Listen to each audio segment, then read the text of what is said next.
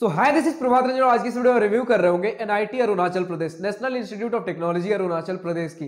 तो एनआईटी अरुणाचल प्रदेश हमारे जोट अरुणाचल प्रदेश में स्थित एक गवर्नमेंट इंजीनियरिंग कॉलेज है, जिसकी स्थापना 2010 में हुई थी। बात कर ले एनआईआरएफ रैंकिंग की तो 2023 में इसे 101 से 150 एनआईआरएफ इंजीनियरिंग रैंक बैंड के बीच रखा गया है। और इसी के साथ ही साथ इनका परमानेंट कैंपस टेम्पररी कैंपस कैसा है, क्या कुछ है, सारी चीज़ें वीडियो में आगे डिस्कस कर रहे होंगे। लेकिन सबसे पहले इनका इंटरनेट पर जितना भी डेटा अवेलेबल है like placements admission process cut off fee structure बहुत क्विकली डिस्कस करने के बाद कॉलेज एंड हॉस्टल लाइफ इत्मीनान से डिस्कस कर रहे होंगे। तो स्टार्ट करें प्लेसमेंट के साथ। तो सबसे पहली बात की एनआईटी अरुणाचल प्रदेश ने बहुत कुछ डेटा ऑफिशियली अवेलेबल ही नहीं करा रखा। तो फ़िलहाल इंटरनेट पर जितना भी डेटा अवेलेबल है और थोड़ा बहुत जो ऑफिशियली डेटा अवेलेबल था, उन सारी चीज़ों का मदद लेकर हम इस कॉलेज के प्लेसमेंट को थोड़ा बहुत एनालाइज करने की कोशिश कर रहे होंगे। तो सबसे पहली बात 2022 का ऑफिशियल डेटा है कि प्लेसमेंट परसेंटेज क्या कुछ रहा किस ब्रांच में। तो आप देख सकते हो, दिए गए स्क्रीनशॉट में लाइक कंप्यूटर साइंस इंजीनियरिंग में 74.08 परसेंट इलेक्ट्रॉनिक्स एंड कम्युनिकेशन में 70.6 परसेंट और बाकी सारे ब्रांचेस का आप देख पा रहे हो। तो ऑफिशियल डेटा तो इतना ही था। अब चलिए, जितना भी अनऑफिशियल डेटा इंटरनेट पर लाइक स्टूडेंट रिव्यूज़ या फिर अलग अलग जगह अवेलेबल है, सबका निचोड़ निकालने की कोशिश करते हैं। तो सबसे पहले 2020 के अगर एवरेज पैकेज की बात कर ले तो 6.2 एलपीए 2021 में 6.89 एलपीए और 2022 में आपका एवरेज पैकेज रहा था 8.5 एलपीए वहीं हाईएस्ट पैकेज की बात कर ले तो 2020 में 12 एलपीए 2021 में 16 एलपीए और 2022 में 24 एलपीए प्लेसमेंट परसेंटेज की बात कर ले तो सबसे पहले रहा था 46.78 परसेंट आपका 2020 में 2021 में 72.31 और 2022 में 78.92 तो प्लेसमेंट परसेंटेज भी हमें धीरे धीरे मतलब ओवरऑल चाहे वो हाईएस्ट पैकेज हो एवरेज पैकेज हो प्लेसमेंट परसेंटेज हो, हर चीज़ में एक सिग्निफिकेंट ग्रोथ देखने को मिला है। अब देखिए नॉर्थ ईस्टर्न एनआईटी है 2010 में खुला है तो उस हिसाब से हम ज़्यादा कुछ एक्सपेक्ट कर भी नहीं सकते। हाँ कुछ एनआईटीज है लाइक आपका एनआईटी मणिपुर एनआईटी मेघालय, जो कि नॉर्थ ईस्टर्न ही है और ऊपर से 2010 में ही खुले हैं, उसके बावजूद भी काफ़ी बढ़िया प्लेसमेंट रिकॉर्ड्स दिखा रहे हैं। बट अगर इस कॉलेज की बात कर ले तो हमें ये दो फैक्टर्स अगर कंसिडर करके चले पहला नॉर्थ ईस्ट में और दूसरा 2010 में खुला है, नया नया है। तो उस हिसाब से ना तो खराब है और ना ही बहुत अच्छा है। मतलब डिसेंट प्लेसमेंट हम इसका लेकर चल सकते हैं। और अगर बात कर ले हम मीडियन पैकेज की तो मीडियन पैकेज आपका 2022 में रहा था 8.35 फिर से पीछे चलते हैं। 2020 में 5.57 2021 में 6.5 और 2022 में 8.35 इन शॉर्ट जिस रैंक पर आपको एक कॉलेज मिल रहा है उस हिसाब से प्लेसमेंट्स ओके ओके है। अब किस रैंक पर मिलता है, क्या कट ऑफ़ है, सारी चीज़ें वीडियो में आगे डिस्कस कर रहे होंगे। तो उससे पहले एडमिशन प्रोसेस की बात कर ले तो हर एनआईटी की तरफ़ पहले आपको जेईमेंस का एग्ज़ाम देना होगा और जेईमेंस में जो भी रैंक बना है, उसके बेसिस पर आपको जोसा सीसेप काउंसलिंग में कॉलेजेस और ब्रांचेस अलॉट हो रहे होंगे। बात कर ले कट ऑफ़ की तो हमारे पास 2023 round six general student gender neutral category के कट ऑफ़ का स्क्रीनशॉट लगा हुआ है। जिसमें अगर कंप्यूटर साइंस इंजीनियरिंग की बात कर ले तो होम स्टेट में क्लोज हुआ था। एक लाख छत्तीस हज़ार चार सौ बत्तीस rank one lakh thirty six thousand four hundred thirty two. और वहीं अगर हम बात कर ले अपने अदर स्टेट में कंप्यूटर साइंस इंजीनियरिंग तो बंद हुआ था twenty nine thousand eighty seven rank तो आप देख सकते हो, हर नॉर्थ ईस्टर्न एनआईटी या फिर जो भी ऑफ़ साइड में लोकेटेड एन है कॉलेजेस है, हर किसी में देखने को मिलता है होम स्टेट में काफ़ी बढ़िया मतलब कम रैंक पर भी आपको कॉलेजेस और ब्रांचेस देखने को मिल जाते हैं। लेकिन वही अदर स्टेट के लिए कॉम्पिटिशन काफ़ी ज़्यादा रहता है। जो कि इस कॉलेज में भी हमें देखने को मिला है। अब अगर आपको हर राउंड हर कैटेगरी हर ईयर का कट ऑफ़ चाहिए तो आप कॉलेज प्रवेश के वेबसाइट पर विज़िट कर सकते हो। बात कर ले फ़ी स्ट्रक्चर की तो आपके सामने detail institute fee tuition fee hostel fee का स्क्रीनशॉट लगा हुआ है। अब मेस फ़ी हमें नहीं बताया गया तो ऑन एन एवरेज 25,000 पर सेमेस्टर मेस फ़ी हम मानकर चल सकते हैं। तो हर एनआईटी की तरह इस एनआईटी में भी आपका ट्यूशन फ़ीस 62,500 पर सेमेस्टर लग रहा होगा। एस सी कैंडिडेट हो आपका कोई ट्यूशन फ़ी नहीं लग रहा बट बाकी सारे फ़ी लग रहे होंगे। ओबीसी जनरल कैंडिडेट एक लाख से नीचे का इनकम सर्टिफिकेट जमा करते हो, आपका भी कोई ट्यूशन फ़ी नहीं लग रहा होगा, बट बाकी सारे फ़ी लग रहे होंगे।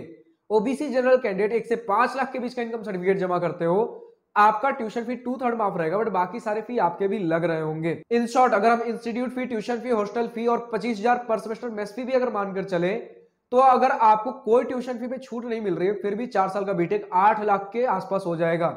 और अगर पूरा ट्यूशन फ़ी छूट रहा है उस केस में भी अगर institute fee tuition fee hostel में सब कुछ मिला दे तो तीन लाख के आसपास आपका पूरा चार साल का बीटेक इस कॉलेज में निपट जाएगा। तो फाइनली अब हम पहुँचते अपने कॉलेज एंड हॉस्टल लाइफ वाले सेक्शन पर, जो कि मोस्ट अवेटेड सेक्शन होता है। तो सबसे पहली बात की बात कर ले इनके कैंपस की तो 301 एकर्स का एक खूबसूरत भी बोल सकते हो फैसिलिटीज़ की कमी भी बोल सकते हो, क्योंकि बात दरअसल ये है कि मैंने इनके कुछ व्लॉग्स देखे, जो इन्हीं के पीएचडी स्कॉलर ने अपलोड कर रखे थे यूट्यूब पे।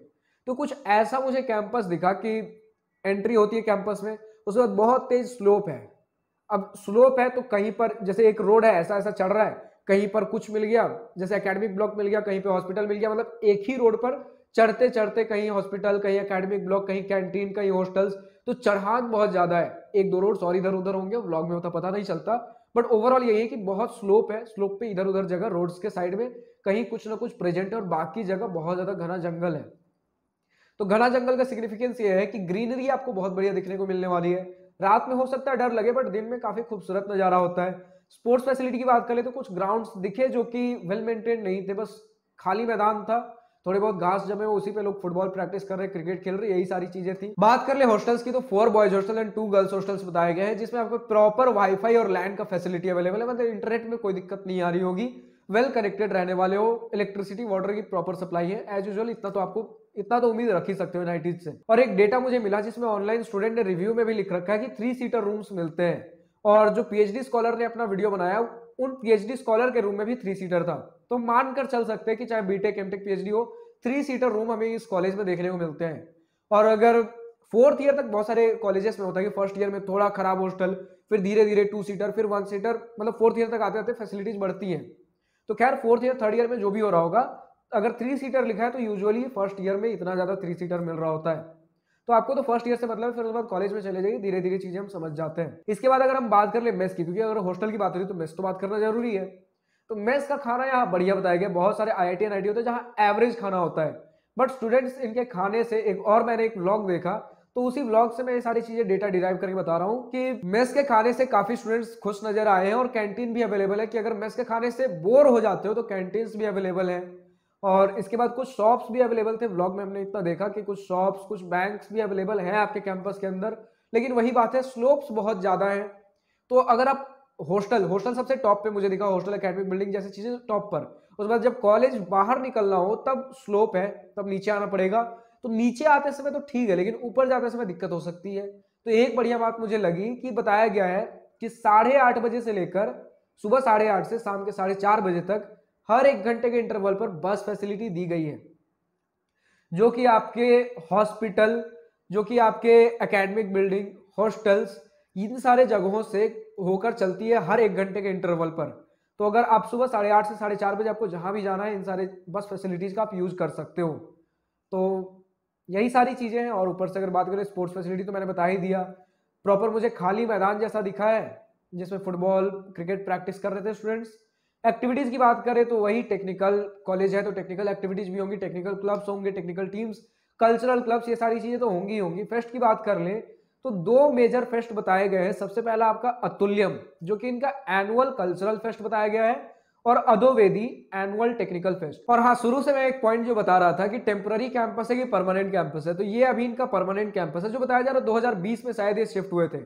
ऑनलाइन डेटा तो 2020 का है, अब अगर इनके एक्चुअल स्टूडेंट से कनेक्ट होते तो मैं बता पाता कि एक्चुअली ये कब शिफ्ट हुए थे। बट इतना है कि अब ये परमानेंट कैंपस जोट अरुणाचल प्रदेश में पढ़ रहे हैं। और फैसिलिटीज़ के बारे में अभी और बताना हो तो बात यही है कि धीरे धीरे भी कैंपस इंफ्रास्ट्रक्चर इनका डेवलप हो रहा है। क्योंकि जस्ट अगर हम बात करें 2020 में भी अगर ये शिफ्ट हुए होंगे तो बहुत कुछ इतना जल्दी इंफ्रास्ट्रक्चर डेवलप नहीं हो जाता। तो बहुत ज़्यादा फैसिलिटीज़ की तो आप हाई एक्सपेक्टेशन लेकर नहीं चल सकते हो। और दूसरी दिक्कत जो आपको इस एनआईटी में आ सकती है, वो है इनका कनेक्टिविटी ट्रांसपोर्टेशन क्योंकि अगर हम नियरेस्ट रेलवे स्टेशन की बात कर ले, वो है आपका नहलागुन रेलवे स्टेशन 38 किलोमीटर दूर। दूसरा है आपका गुवाहाटी रेलवे स्टेशन 315 किलोमीटर दूर। और अगर नियरेस्ट एयरपोर्ट की बात करें, वो है लीलावरी एयरपोर्ट 96 किलोमीटर दूर। तो यही सारी चीज़ें इस कॉलेज को लेकर अब कमेंट सेक्शन में लिखकर बताइए, और किस कॉलेज का, और किस एनआईटी का, किस आईआईटी ट्रिपल आईटी किस कॉलेज का आपको रिव्यू चाहिए? आज के इस वीडियो में इतने अगर वीडियो पसंद आई हो तो लाइक, शेयर पर दिल खोल कर करिएगा। और अगर कुछ दिल की बात, कुछ बड़ी बात लिखकर बतानी हो तो कमेंट सेक्शन आप ही के लिए तो है। So thank you for watching this video good bye wish you all the best future enjoy journey